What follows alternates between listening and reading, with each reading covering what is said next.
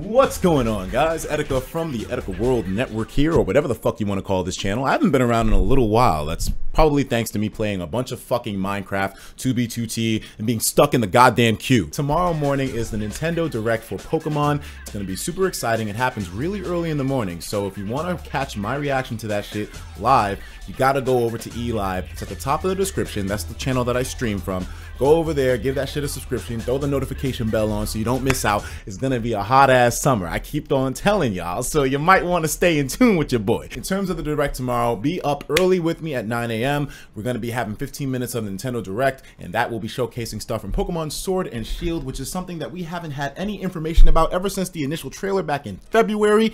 I don't know, man. It seems like every generation, Pokemon goes from giving us a lot of information all the time to giving us drips of information some of the time. X and Y, drips. Sun and Moon, a lot. Like, dog, is it the year of Pokemon in your eyes? I, I think it might be, dog. Detective Pikachu is a really fun movie. I mean, I know it's a little bit on the old side now. I'm sure most of you have seen it. I really enjoyed it. I know a lot of people thought it was corny. Maybe it didn't really have the heavy duty story, but I mean, it's Pokemon. What kind of heavy story did you really expect to have? I mean, I just appreciate it for showing how Pokemon could potentially look in the real world. It was super fun seeing them show not just the Gen 1 Pokemon, but a bunch of other ones from different generations as well. But I mean, hey, if you didn't like it, go ahead and be a stick in the mud, man. And also, shout out to all the other sticks in the mud too who are hating on Sword and Shield because of the graphics. Now, I'll kind of take it just because I was excited about Pokemon, but I sort of saw after the fact, a lot of people had, well, they, they kind of had a right to be upset because this is a whole new generation on a beautiful piece of hardware that can handle graphics on the level of Breath of the Wild. And yet Pokemon Sword and Shield gave us something which kind of looks less good than Pokemon Let's Go, nigga. I can see where a lot of the YouTubers who are saying Pokemon's kind of slacking a little bit in terms of how they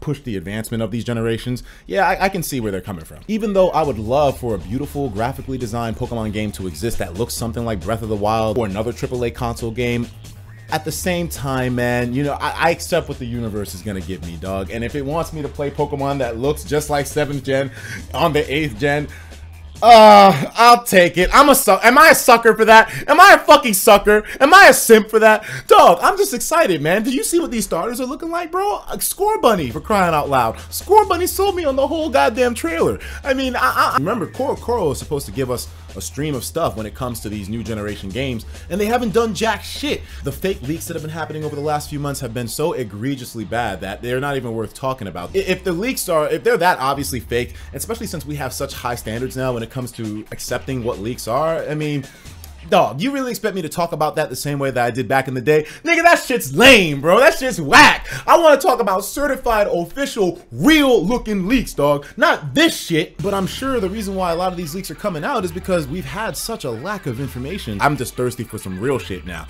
I mean, now if the leaks were real, if some of the leaks came out and they were actually legitimate, then that's a different story. And dog, I don't know if you heard the news, but Game Freak, the guys who make Pokemon, they're kind of putting their priorities in different places. Game Freak is currently working in two halves. One half working on Pokemon, and the other half working on something that they want to be bigger than Pokemon. So they're working on big projects over there.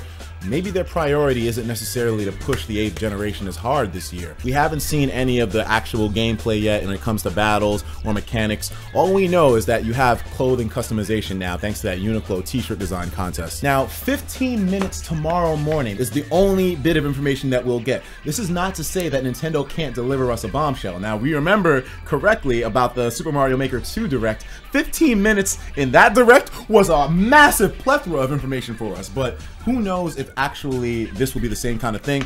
It might be a little bit more slow paced, or maybe they're just gonna jam pack it. I hope that they do the latter of those two options. Now, if they don't manage to give us a bunch of information, then that just means that they're saving it for E3. This is going to be a big, big event. We all know when it happens, literally a week after this direct goes down, I think on the 9th or something. I don't know. I put the right date in the video, but E3 is going to be huge. I'm not going to be at the actual event. I'm going to be streaming everything like I usually do, so no big surprise there. I'll probably be trying to post a couple of highlight videos on my channel as well. I'm, I'm looking forward to that event mainly for Astral Chain, which is going to be that exclusive game that Platinum's developing that looks crazy for the Switch right now. So niggas, I'm just telling you, if you if you if your balls don't get drained tomorrow, they will get drained real real soon, dog. E3 is right around the corner, baby, and I know they gotta have some kind of big information for us. We're probably gonna be hearing more about the Switch iterations, the new ones that are coming out, maybe the Pro or the Mini. I mean, that's kind of been officially confirmed by a couple of really legit sources, but we don't know for a fact. Obviously, take all this shit with a grain of salt, but I'm just saying, the news sources were there. The motherfuckers talk about leaks. I'm motherfucking talking about leaks, dog. I'm excited. My, my dick is heavy right now.